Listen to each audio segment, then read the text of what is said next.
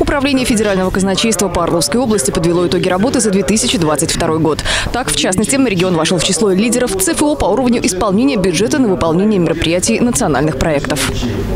Одним из главных приоритетов для нас а, по-прежнему остается такое масштабное многогранное направление, как национальные проекты. Александр Николаевич в своем докладе на них также останавливался. А, хочу подчеркнуть, что в ходе их реализации по итогам года освоено более 8,5 миллиардов рублей, 98,7% а, от плана, что превышает уровень исполнения 2021 года на 3 миллиарда 300 миллионов рублей или в 1,6 раза. И по данным показателям в этом направлении область вошла в число лидеров среди регионов ЦФО по уровню исполнения бюджета на выполнение мероприятий самих национальных проектов.